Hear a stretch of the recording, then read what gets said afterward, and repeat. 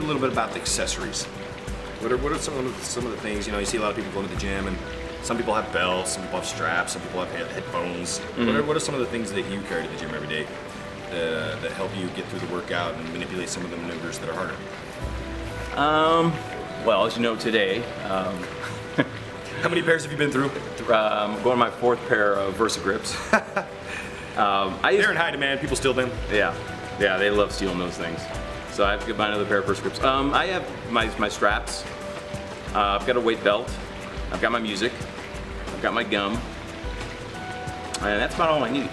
What about, let's, let's talk about, uh, this one was touchy for me, and it, it's hard as a, as a trainer or a coach to know somebody's threshold. Are you injured or are you hurt? That's what the football coach used to say to me all the time. You're laying on the ground. That, that's the classic. Yeah. Are you, if you're hurt, get up and play. If you're Yeah. injured, we'll call somebody in. Right. And that's kind of the way I have to go with training. I'm trying to hurt you, you guys. Yeah. Don't tell me you're hurt. That just makes me happy. Yeah. Are you injured? Well, one of the first times we trained with Dell, I had him doing uh, chin-ups or something and tweaked his shoulder. What, what happened was is he then started to avoid that shoulder. And I wrote him a workout. And that workout wasn't being followed because of an issue mentally, I feel like, after a while, when the shoulder wasn't hurting anymore, it was just, it was mentally preventing him from doing it. Either A, didn't want to hurt it again, or B, just didn't feel like it was better. We had to get over that. Tell, tell about that transition of doing what's on the paper. Um, it, well, it's, it's, it's the same thing. It's like it's in your head. It's like you think you're injured or you think it's, it's, it's an excuse, basically. It's, it's all it is, is an excuse. And it might hurt more than you want it to, but you have to get past that because it's not, like I say, it's not an injury. Uh, You kept on saying, go, go get an MRI. If it's that bad, go get an MRI. If Yeah. Tell, prove it. If you're prove injured, go spend $800. It, pro- prove it to me that it's, you know, it's medical. If not, Get through it. and We did. and we're still getting there. We're still we're still working through it and we're getting there and um, my shoulder is much better and I can definitely see an improvement in my my uh, chest presses and chest workouts now because it's, it's gotten past that. All right, anything else you want to share with the group before we go? Words of inspiration to any any gentlemen out there that have been putting back the beers and enjoying their life and hiding from a inner demon. Um, well, you're never going to do it unless you want to do it for you. You're not to do it for a judge. You're not to do it for your wife. You're not going to do it to walk down the street like a peacock.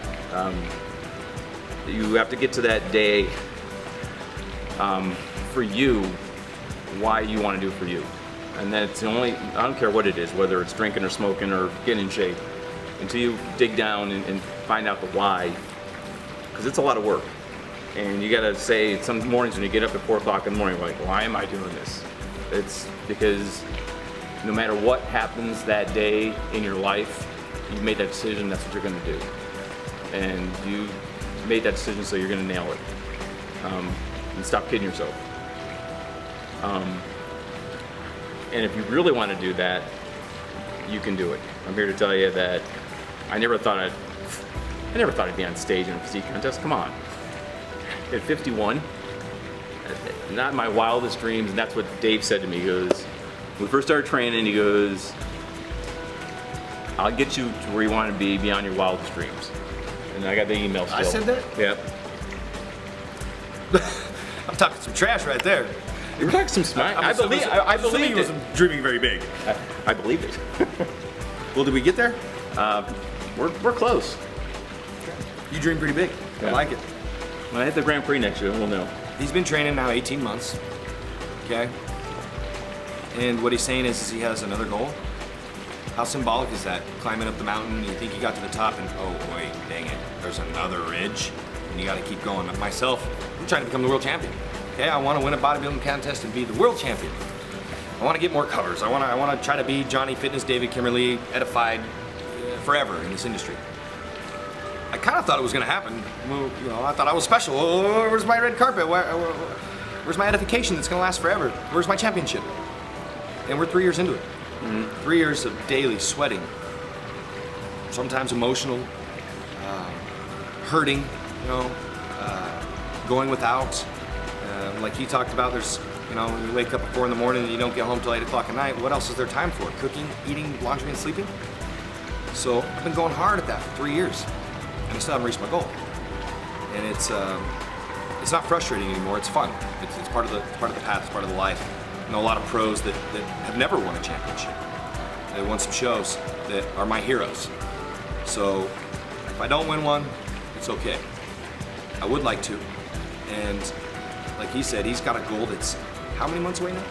Uh, nine. Nine months. Add up 18 to that. That's 27 months. Okay? Of a goal? 27 months for one day, for 10 minutes. Yeah, not even. Not even. So it's uh, it's it's quite the obligation to yourself. And like he said, if you don't do it for you, you're not gonna do it, mm-hmm. or you'll quit. One of the things that I like you said earlier was nobody can take it from you. You guys, I started training again and decided to make it my job. Well, the part of me deciding to make it my job was very symbolic because I just lost everything. 30 years old, and I lost more than I could make in the next three years if I didn't pay a single bill to pay back. Like, nothing left. The, the definition of bouncing on bottom is flat. So, when I started to find an avenue for my frustration, and it would build something that nobody could take from me, I became addicted.